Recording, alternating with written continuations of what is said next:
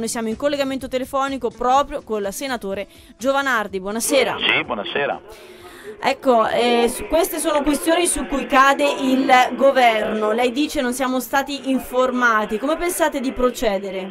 Dunque, noi sappiamo che in Commissione Giustizia qui al Senato c'è un disegno di legge del Partito Democratico sì. che prevede appunto la parificazione sostanziale delle unioni civili al matrimonio siamo contrari, abbiamo detto più volte, perché è legittimo che una forza politica, se vince le elezioni, come ha fatto Hollande in Francia, porti avanti le sue riforme, ma il PD non ha vinto le elezioni, e questo governo e questa maggioranza sono lì per fare le riforme elettorali del Senato e del titolo quinto sì? e quindi non, non, siamo certamente lì per fare da eh, copertura, operazioni, meno che mai se queste operazioni di rivoluzione antropologica provengono da un governo che si regge con i nostri voti. Certo. Quali sono in particolare, senatore, i punti di questo testo di legge che si sta elaborando che per voi sono inaccettabili? Beh, intanto la totale parificazione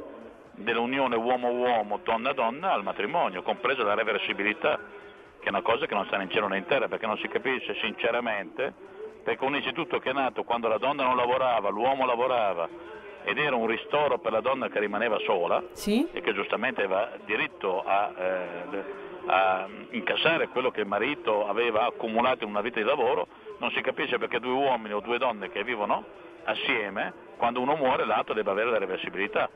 Naturalmente con spese per l'economia che sarebbero folli a tutto detrimento diciamo, per la famiglia della Costituzione. Non potrebbe prodursi il caso che anche in una coppia di, composta di persone dello stesso sesso e che vive insieme per molti anni, uno lavori e l'altro no e poi l'altro quindi si trovi, si trovi Guardi, nella condizione di poter avere questo diritto? Del casalingo, cioè dell'uomo casalingo, faccio fatica a vederla nella realtà e eh, naturalmente questa reversibilità verrebbe applicata a tutti in maniera indiscriminata, salvo per esempio sì?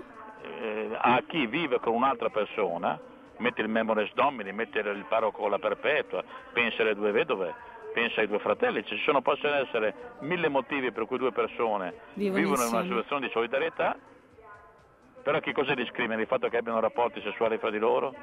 Cioè che vadano a letto assieme? Allora è molto più avanzata la nostra proposta di legge, sì? i patti di convivenza e di solidarietà, perché quelli davvero a chiunque viva in una situazione di solidarietà toglie ogni tipo di discriminazione senza andare a verificare se sono uomini, se sono donne e se eh, vivono o no more uxorio. Ci sarebbero però diritti diversi da quelli oggi previsti per il matrimonio?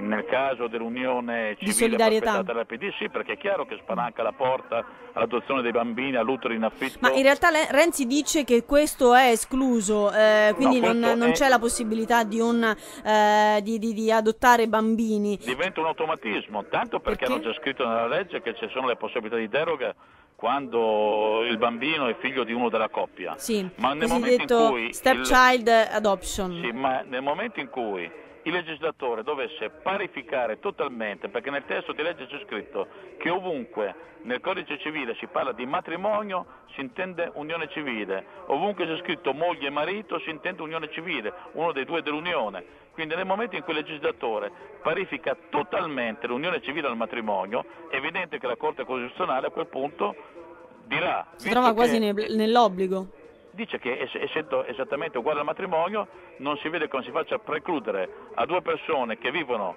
in una maniera che il legislatore stesso identifica e, e parifica il matrimonio, è chiaro che apre la porta anche alle adozioni e anche, ma del resto il mio collega, lo giudice, è appena tornato un mese fa in Italia con un bambino, fatto con la tecnica io lo chiamo l'utero in affitto, lui dice che ha trovato un'amica che negli Stati Uniti si è prestata gentilmente a fare nove mesi di gestazione per poi dargli il bambino. Sono forme eh, di sfruttamento della donna che noi non ammettiamo. Certo. E lì però sono le prospettive dove onestamente, basta vedere oggi cosa dicono le associazioni gay italiane, vogliono arrivare lì, vogliono arrivare al matrimonio, all'adozione dei bambini, all'utero in affitto, alla possibilità di uomo-uomo, donna-donna, di assemblare dei bambini attraverso l'acquisto dei fattori della produzione. Certo, ma non sarebbe allora eh, sufficiente, senatore, eh, semplicemente eh, rivedere la parte che riguarda le adozioni, rivedere la parte che riguarda la reversibilità e poi salvare la norma?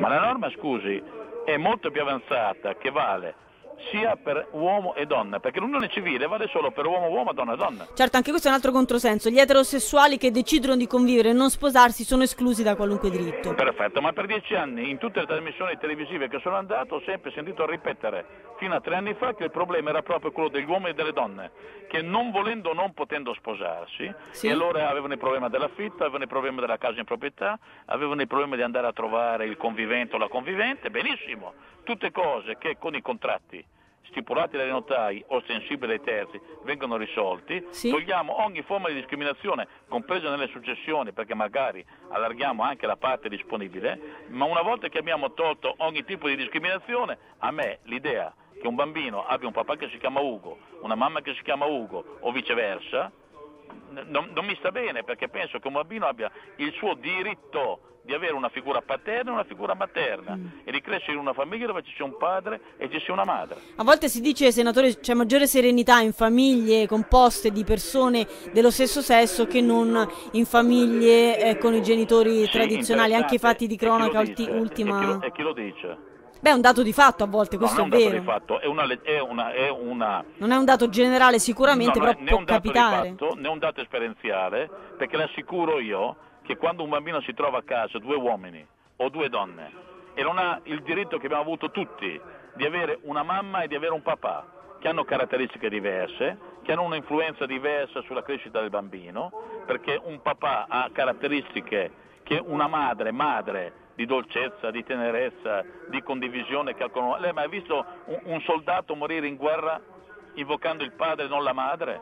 Mm. Compreso gli omosessuali, perché attenzione, la nostra battaglia è la battaglia anche degli omosessuali sì. che rivendicano il loro diritto ad avere un compagno, di vivere la loro vita, ma sono assolutamente contrari, come lo siamo noi, al matrimonio, all'adozione e al fatto di voler avere dei bambini. Perché a volte si dice ecco, che queste, questi provvedimenti, per esempio, vanno incontro al sentire di, di tutta la comunità omosessuale. Lei dice di no, che non no. è così. Scusi, quando abbiamo fatto la manifestazione a Roma delle Manif Portus, l'intervento più applaudito dalle 2000 persone in piazza è stato di un omosessuale francese, che era lì col suo compagno, che è venuto a portare solidarietà sia in Francia che in Italia a chi lotta contro il matrimonio. Ha detto sono omosessuale, vivo con questo mio compagno, ho i miei orientamenti, non voglio essere discriminato, ma da questo a parlare di matrimonio non ci sto.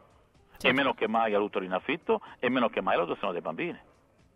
Certo, sicuramente poi ci sono posizioni estremamente variegate, è un tema molto molto delicato, tra l'altro anche il Premier ha detto è un testo delicato, niente strappi, lasciamo che la Commissione ne discuta. Del resto, Senatore, c'è anche tempo perché eh, il testo non dovrebbe essere valutato poi nel merito non prima dell'autunno, quindi come dire c'è modo anche di riflettere no, guardi, sui non contenuti. È che ci sia tempo. Allora, ripeto, mm. è un dato morale e un dato politico.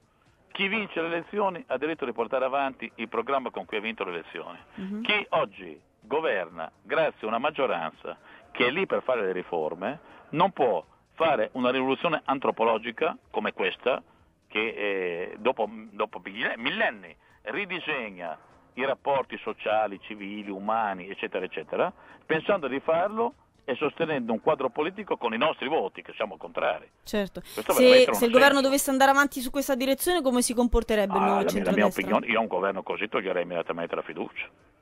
Staremo a vedere cosa accadrà. Intanto grazie al senatore Carlo Giovanardi del nuovo centrodestra per questa riflessione con noi. Buon lavoro. Grazie, arrivederci. Arrivederci.